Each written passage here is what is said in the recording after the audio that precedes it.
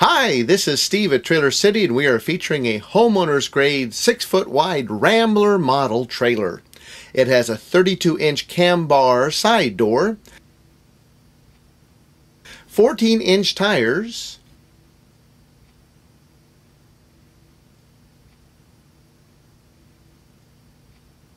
five foot 11 inches of headroom, quarter inch plywood walls, three quarter inch plywood floor, 24 inch on center wall and floor studs, dust proof barrier, and one dome light. There are three hinges on the ramp. There's a 4 inch dropped axle made by Dexter with a 3 year warranty undercoated. It's treated on plywood and steel. Come and see us at Trailer City in Portland, Oregon, where we're behind you all the way.